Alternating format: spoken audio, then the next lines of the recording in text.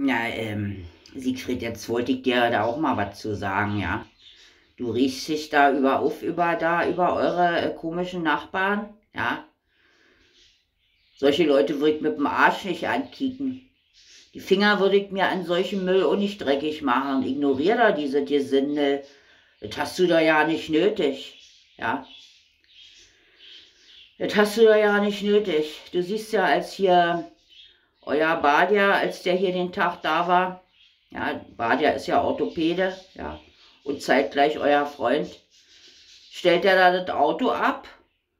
Ist auch gleich einer aus der Nachbarschaft, der den angeschissen hat. Der, den, da, da hat er da einen Zettel, hat der da am Auto gehabt.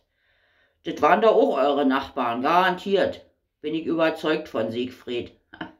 Ja, aber ich guck so einen Pöbel nicht an. Oh wei, oh wei, oh wei, da bin ich viel zu stolz dafür. 对。